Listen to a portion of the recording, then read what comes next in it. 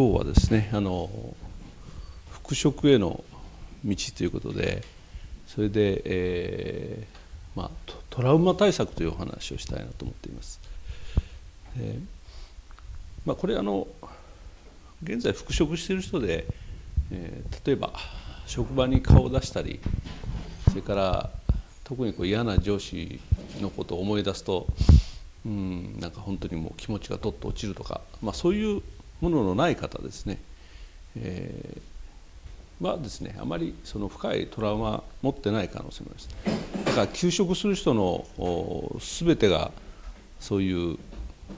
深いトラウマの状態ではないんですね。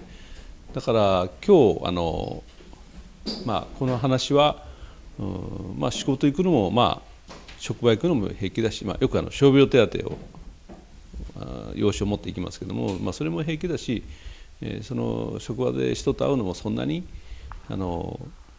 問題ないかなという方は、うんまあ、復職へのこのシリーズとしては飛ばしてもらっていいかなと、まあ、参考程度に聞いていただけたいと思います。でそうじゃなくてですねやっぱりやっぱきついんですよねというその傷病手当は持っていかないとまずいし、えー、でも行くのは嫌だしというともうなんかその時期が来るのは本当に嫌だなとでまあ自分で行けないから、まあ、代わりのものに持って行ってもらうのが一番いいんですけどそういう時は、まあ、そういう自分も嫌だしという、まあ、なんとも重い、ね、時期1ヶ月の中のある日になっちゃう、まあ、こういうものを持ってる人はですねこの話はぜひちょっと聞いていただきたいというふうに思います。であの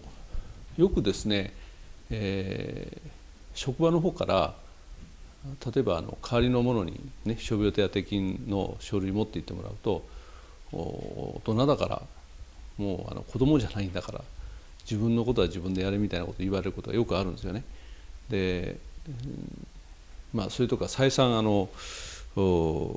会社の方から電話がかかってきたりですね、えー、しましてで、えー、まあ家族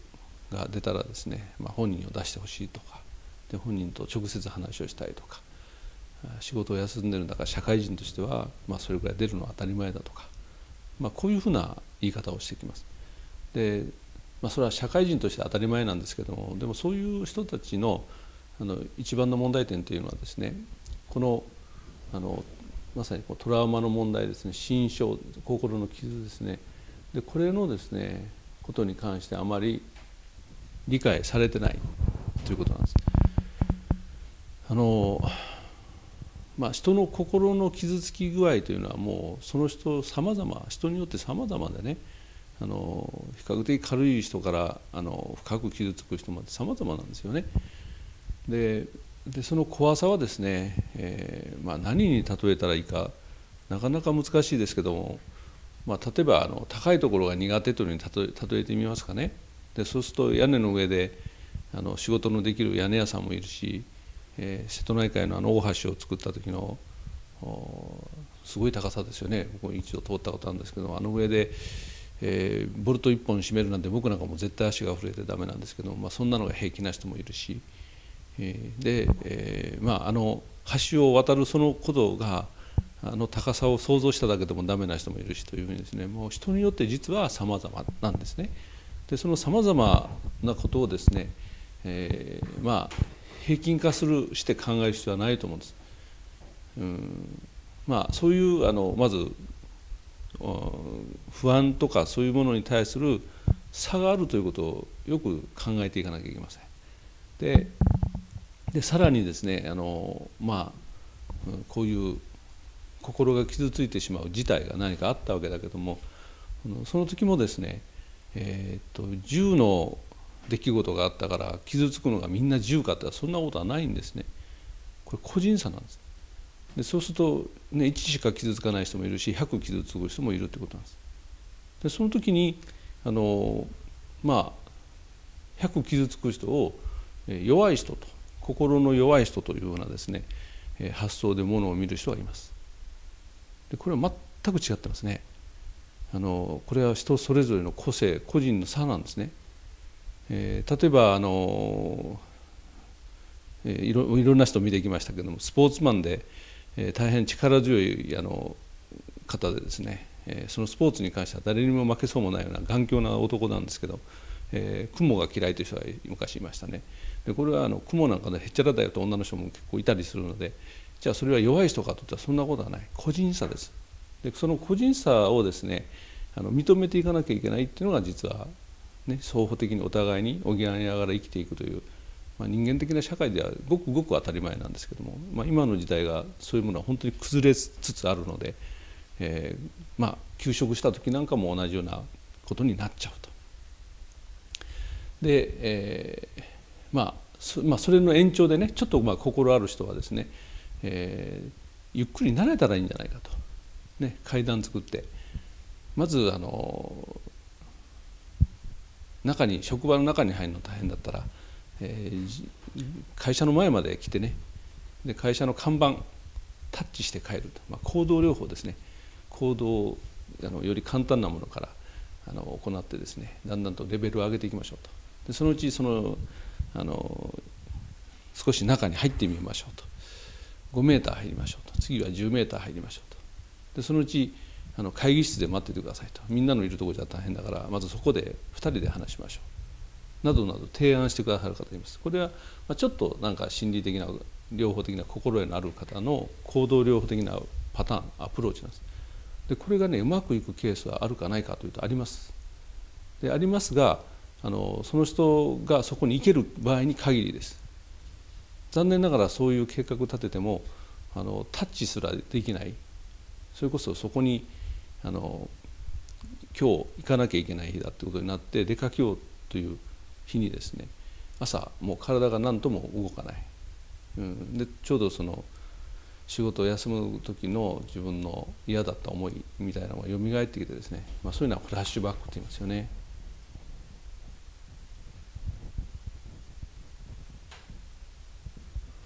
身動きが取れなくなってしまうということなんですね。まあ、そういうあのことがある時にはですねあの到底そういう行動療法というのはできないですね。で、まあそ、そこはねあの根性なんだと根性でやるしかないんだというふうなあの見方をするんです。でまあ、一生懸命そういう計画を立ててくれた人も来れないということになるとがっかりしてですね、えー、まあ来れる人もいるのに、まあ、この人はやっぱりダメかなというそういう差をつけて見てしまうわけですね。で僕がいつも嫌っているあの競争社会がね人間性をダメにするというもうそれの一つでしょ。来れる人と来れない人を差をつけてであんたダメよとしちゃうというね、まあ、実はそういうもので、ね、傷ついてきたという歴史もよく考えなきゃいけないし反省しなきゃいけないところなんですね。でじゃあどうしていくいけばいいのかということを今から話すわけですけどもこの僕の考え方ではそういう、まあ、トラウマになった原因をですね行動療法的に、えー、解決していこうというのはこのフラッシュバック傷が深ければ深いほどフラッシュバックを起こしてですね、えー、さらにその、まあ、心象そのものが強化されてしまう可能性あるんですね。あのー、怖い思いをですねえー、またさせるまたさせると、ね、10回怖い思いした人とそれがよみがえって1万回怖い思いした人とどっちの方が怖いのかというとそれはもう1万回に決まっているわけです。だからもしそのあの治療をするのであれば有効になるようにそれが何らかの効果を発揮できるようにしていかなきゃいけないですね。で残念ながらあの行動療法で有効な効果を出す方はほとんどいません。階段をいくら小さくしてもなかなか難しいっていうのは現実です。でじゃあそのトラウマ対策のその僕の考え方ですね。それはどういうことかというとこうよく僕は話しますけども今までその例えば自分がいて家族がいて、まあ、親戚がいて家があってそして地域社会があって会社があっていろんな人たちが住んでてっていうこれ全体ですね、えー、全体をですね、まあ、ある意味で意識しながらこう生きているわけですね。でその中にはあのまあいろんな人がいるなといい人もいるし悪い人もいるしそういうふうに自分でこう判断をしていくわけです。でそれはちょうどその自分の判断がですねあのまあ本当に臨機応変にできるような普通の判断力を持ってるんですけどトラウマあの心象が深くなっちゃうとですねそういうことができなくなってしまいます。で、えー、ちょうどそのトラウマの世界が自分の全てになっちゃうそのだからちょうどですねあの、まあ、どうどういうふうに言えばいいかというとですねちょっと待ってください。これこれが今まであの自然なごくごく当たり前の自分の世界なのでだから世界を見るときにこういうふうに見るわけです。だから全てが普通な判断ができるんです。ところがこれがあのトラウマでトラウマになっちゃうとですね、えー、こういうせこれを通じてものを見ちゃうんです。だから嫌な嫌なその上司との嫌な感情とかですね、そういうものがほぼ100%になっちゃいます。非常にひどい状況の時はね。でそのために、見るもの全てがですね、嫌なものしか見えないし、えー、まあ人も信じられないしその背景にある社会のシステムも信じられないしと。まあ親の方がちょっとした一言でねうん、まあ、さっき言った社会人なんだから少しはしっかりしなさいみたいなこと言っちゃうとですねこれも信じられなくなっちゃいます。あ自分って自分の気持ちは誰も分かってくれないと思うと、まあ、普通はあの親といろいろ言い合ってもですね、まあ、自分のことを思ってくれてるんだと思いますけどそういうことももう考えられなくなっちゃう。だから全ての人が信じられない。でそうすると自分自身も人ですのでね自分も信じられないということはもう極端に自信がなくなっちゃいます。だからこういう見方をしてる人にですねまあ少し頑張って出てきなさいよって言ったら無理なんですね。そしたらまずまずやらなきゃいけないことはもうそれで頭が疲れ果てますのであの休息取らなきゃいけないですね。僕はあのうつ病全体と捕まえて休息必要というのはあんまり賛成する医者ではないんですけどあのこの心象体験が非常にあのトラウマが非常に高い大きい時はですねまず休まなきゃいけないですね。そしてあのもしもし近くに一番近い人で協力できる人よく分かってくれる人がいたらあのもうぜひその人との人間関係をですね改善するとこから入らなきゃいけない。最初壊れて壊れちゃうひびが入ってるかもしれません。それからちょうどそこにもし医療関係の人がいるとしたら少なくとも医療関係の人はそのことよく分からなきゃいけないでしょうね。で、まあ、僕なんかも最初はあの関係性があると思ってません。思ってませんというのはおかしいですけどもあの作っていかなきゃいけないことだと思ってます。だって相手の方があの信じられない部分が非常に大きいわけですからその信じ合えるように一つずつ一つずつ、まあ、いろんな出来事があるんですけどもそれを大事にしていってですねで関係づくりをしていくと。そうするとやっとですねこういうあのトラウマ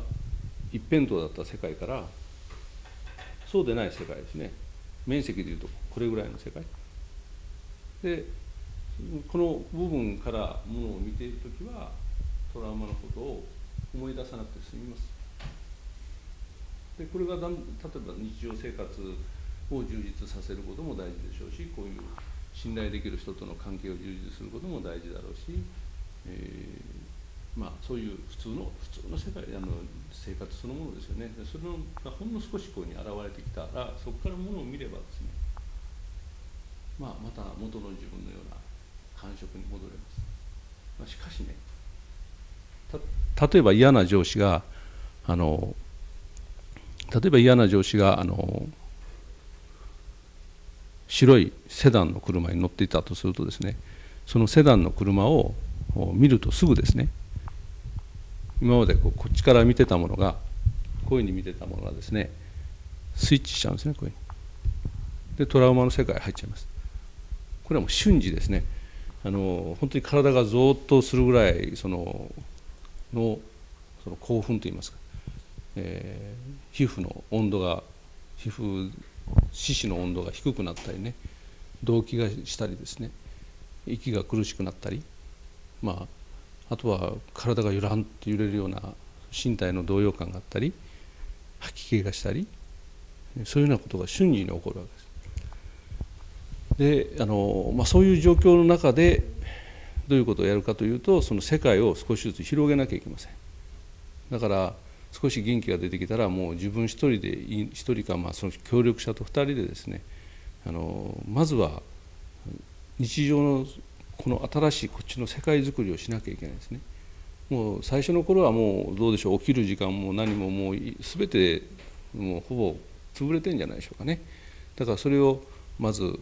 元気になれるためにはどうしたらいいかっていうことでえー、まず2人できちっとこう、うん、生活をしていく、ね、日常生活。ご飯も食べてみる。朝もできたらあの元気になれるように早く起きるようにしてみる。で、え、体もじっとしてちゃいけないので家の中でもいいから歩いてみる柔軟してみる筋トレしてみる何でもいいんですけどもそういうその健康なね健康と言われる世界を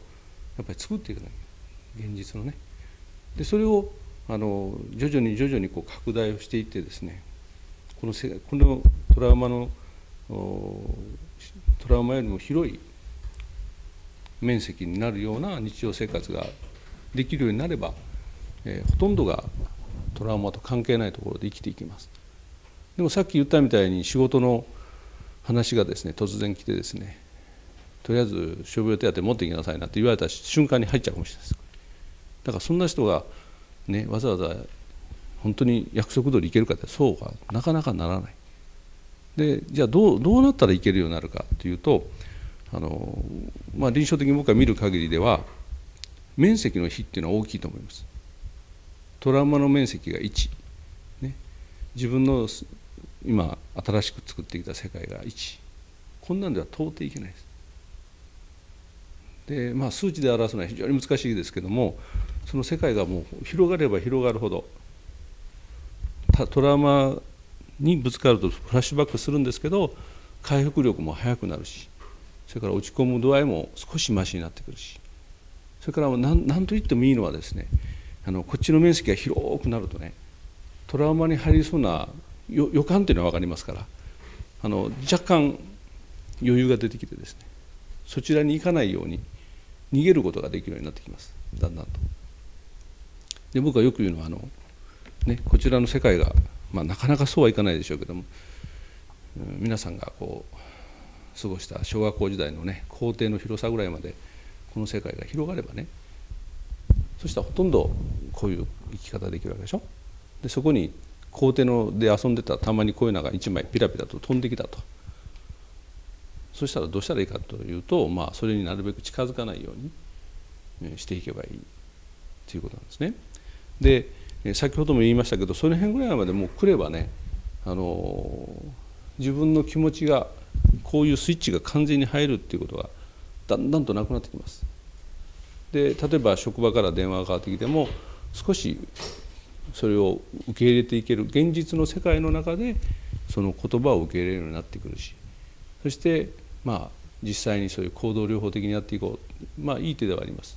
でそれも現実の世界の中で受け入れるようになっていきます徐々に受け入れるようになっていく人もいるし不思議とですねまあ数ヶ月前は職場には行けなかったけど、まあ、であの電話がだったので今度行ってみましたとそしたら今回意外と大丈夫だったですっていうふうにですね、まあ、突然のようなイメージです僕の中ではね突然そういう場に行っても大丈夫なようにあの変わるそういうケースも結構たくさんあります。まあ、そういうふうなですね形であのトラウマを乗り越えていく人たち、まあ、大勢いるわけですね。えー、まあその辺ももう一回ね話をするとだから一番最初の完全にとらわれている時はあのもう本当に限られた人だけ、うん、気持ちがある程度カバーできるような人たちだけ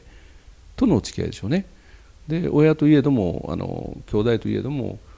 うん、やはりその辺トラウマに火がついちゃうような関係はちょっとねあの避けておいた方がいいかもしれない永遠に避けるわけじゃないですよあのそうしないと動けなくなっちゃうんですねである程度その回復してきたら、まあ、そういう人とも取り入れながらですねやっていくことができるというふうに思います。で、まあ、具体的にあの過ごし方は今ちょこっと話しましたけども自分が元気になるその過ごし方です。で一番いいのはまあ自分のですね、えー、好きなことをする。これねあの好きなことをすると若干語弊あるんですね。こういう時にね好きなことなんかないんですよ。はっきり言っちゃうと。何も。それは周りの人が例えば仕事してる人が例えばこういう時ジグソーパズルにこう専念してたりゲームに専念してたりするとね好きなことできていいなという意味での好きなことで本人そんな好きでやってるわけじゃないんですよね。もうあのこの中でこう日々送るのがやっとなので、ね、何もしないといろいろ考えちゃいますからね。何かやってた方がいいよと。本当にそのそのそれぐらいのあの意味でやってるわけですから。まあで僕が言う好きなことっていうのはあの行動って2つに分けてですね。1つは絶対やらねばならないということいっぱいあるじゃないですか。でそういうものはなるべくあのねばならないことはですね二の次にしてで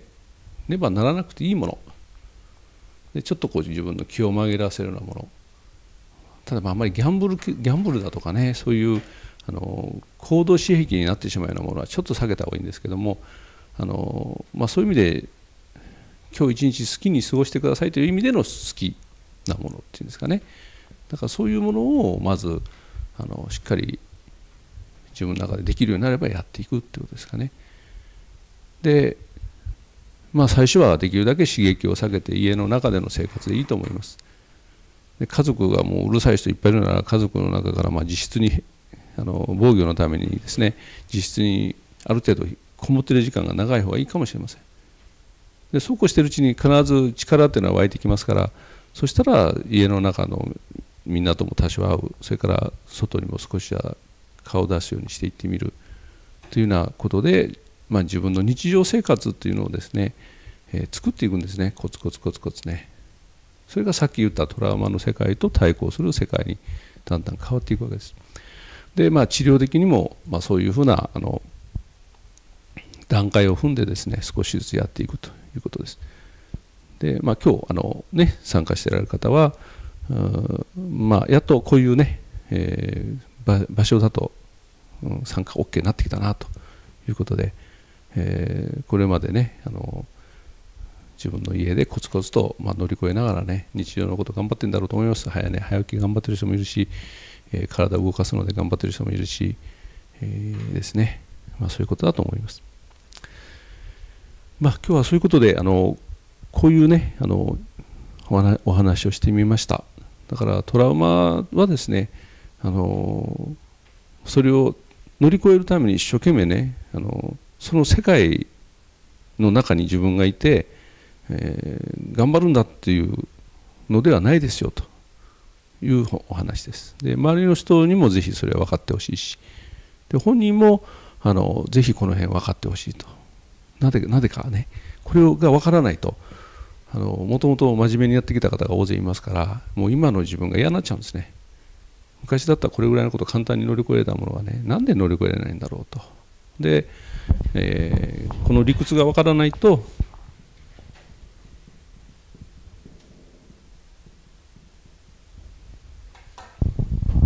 ね、こう自分を責めたりねそれからあとは自罰的自分に罰を課そうとしてしまったりするわけです。これも真面目さゆえゆえのことなんですね。あの真面目に生きてないことはこういうことまずありません。自分を責めることってほとんどないですね。他人責めるのはうまいですけどね。それから他人を罰するのもうまいですけどもだからこれはあのやっぱり真面目に人生生きてきた自分だからこそこういう時にこうなるんだというふうに思っていただけていいのかなというふうに思っています。ということで終わりたいと思います。